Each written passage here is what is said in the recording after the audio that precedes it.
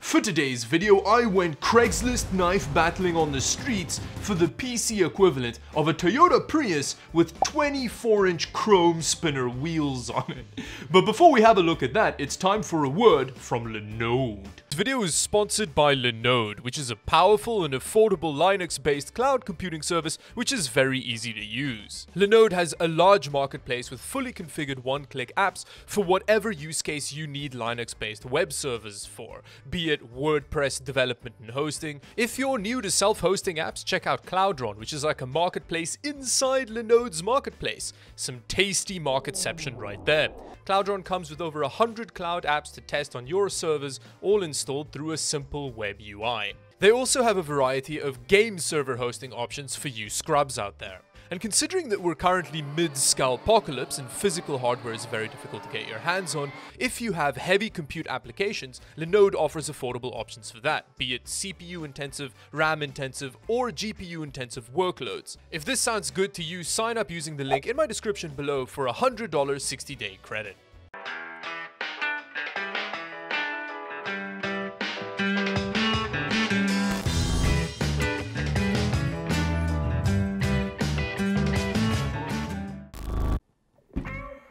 And here we have the Peasant e-peen system, which I can't wait to get into. I'll take the side panel off in a moment because it's very glary, but first let's have a look at the state of the rest of the system. Because as you can see on the top, there's quite a lot of dust. It wasn't even just basically wiped down, which does not bode well for the state of the custom loop in there. I think it's going to be pretty gross. Around the back, we've got a pretty standard rear I.O. You can see that the motherboard's pretty basic because it's got a Mesozoic period port over here, uh, but other than that, that, everything's pretty standard. Power supply wise, uh, that actually kind of looks like an EVGA power supply. I'm not sure. We'll, we'll double check that when we get into it. Now the first thing that you'll notice on the inside here, if you're a massive nerd like I am, is the fact that again there's only one RAM stick in here! At this point, I feel like I'm in some ridiculous fever dream where I'm being haunted by systems that only have incorrect RAM configurations in them. And the thing that makes it worse is the fact that under this gratuitous open loop, there's a Ryzen 5 2600, which is a Ryzen CPU. And Ryzen CPUs are the thing in the world that hates single channel RAM more than I do. I feel like at this point these PC buy videos are just turning into Dawid gets angry at RAM. Without a partner, you're nothing but garbage. Let's have a closer look at said gratuitous open loop because we've got some fancy EK action here that does have some some very stained looking tubing here, but that's not the most concerning part about this loop for me. When you go down to the reservoir, Look at that! There's like no liquid in there anymore. Uh, but when it comes to the rest of the specs of the system, let me actually just fix this. It's really bothering me. Come on, stick! Stick! Okay, let me just... There we go, there we go, problem solved. Okay, with that out of the way, let's have a look at the rest of the system, which is actually pretty well specced out. The motherboard we have under here is an ASRock B450 board, and it's a decent budget B450 option. As far as the CPU goes, like I mentioned before, it's a Ryzen 5 2600 Ryzen CPU, which again is a good mid-range CPU. As far as the graphics card goes, we've got a GTX 1060. Around the back, we've got some reasonable cable management that kind of just looks like something I cable managed. And we have a budget EVGA power supply. I think this is their, their BQ series. Uh, so this is probably like a 500 watt power supply that we have here. And then we've got a loose SSD in here, which I'm gonna try and savage out.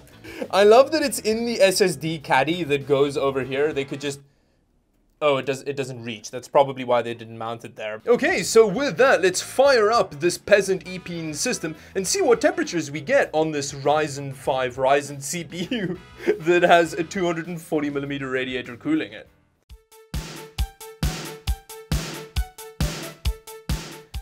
Do we have power? I don't see any LEDs anywhere, but whatever, let's just go straight into it. Okay, there we go.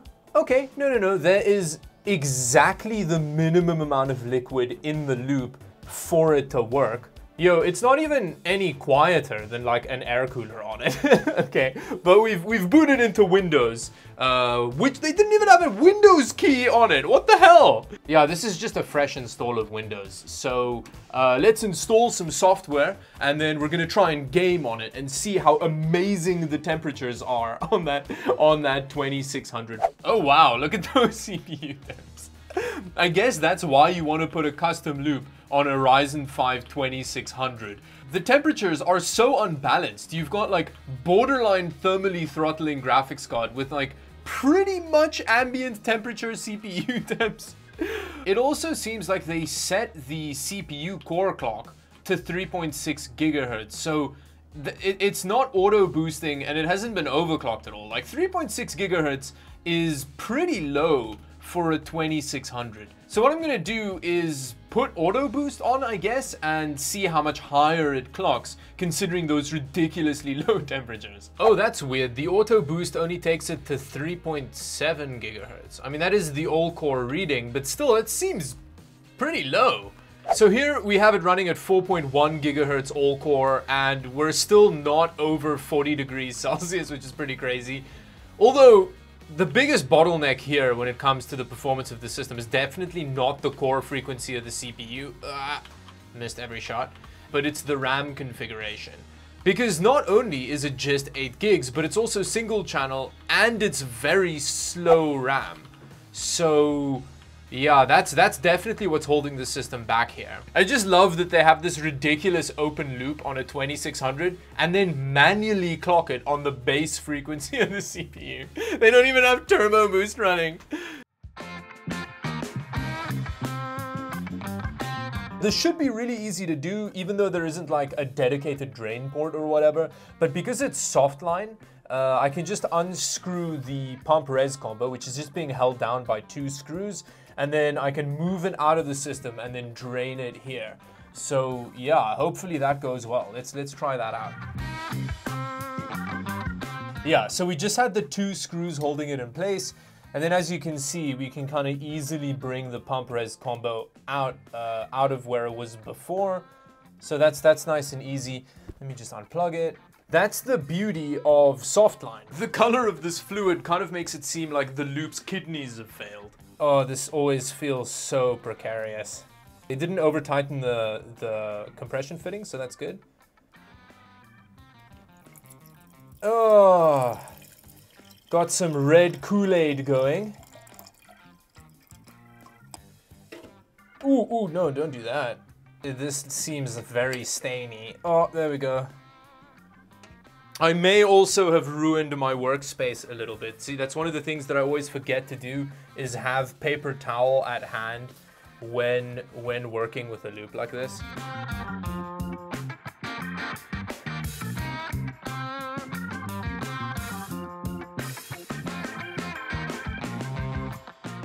So finally, I'm going to open up this block and have a look inside. It doesn't look like there's any kind of like biological residue inside, so it shouldn't be too gross. I think the biggest issue is going to be cleaning off the staining because whatever they use to color the liquid is is very pervasive. Like I've been trying to wash it off my hands and I just just can't get it off. But let's have a look inside.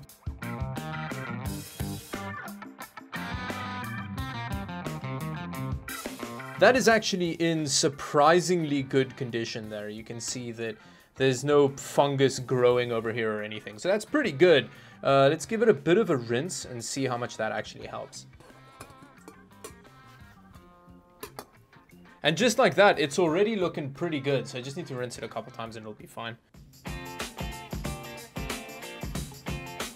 At the end of the day, all of these components were in better condition than I was expecting, actually, because you see some real horror stories of stuff happening to custom loops. Yeah, there may be a little bit of pink staining here and there, but all of this stuff is still very usable, except for the tubing, which yeah, it's not gone well for that. I actually don't know what coloring they used that stains this hard, uh, but there was no bacterial buildup or anything. I may actually use it for a different build. Let me know down in the comment section what you think I should liquid cool with this stuff. Uh, and then on a final note, I just want to quickly explain to those of you that don't understand why I was making fun of this system, because the actual PC is relatively well specced out, except for a couple of pretty big shortcomings. Garbage! The problem is that this decent custom loop kit costs about 350 US dollars, whereas that system, when it was bought, would have had about I don't know, 550, maybe $600 worth of parts in it. They definitely could have spent the $350 that they used on what is essentially an e-peen purchase uh, to fix the shortcomings of that system. Like putting a proper kit of RAM in it and upgrading the graphics card to like a 1070 or a 1070 Ti with a decent cooler on it. That would have had a huge performance benefit actually. Uh, they also could have put a better power supply in it. Uh, stuff like that would have been much better. Whereas buying a custom loop for that system is a little bit like if your city had a billion dollar budget a year and then spent $500 million of it on a bunch of gold plated used panty vending machines or whatever. Like, I guess somebody would have enjoyed it, but it's not gonna fix the homelessness crisis. But on the other hand, if your only priority is a custom loop, then I guess why not? I'm not gonna tell you what to do with your life. Uh, I'm just gonna buy it when you're done with it and then make fun of you on the internet. so with that, thank you very much for watching this video. If you liked it, please like and subscribe to the channel for more videos like this one. And until the next video, bye-bye.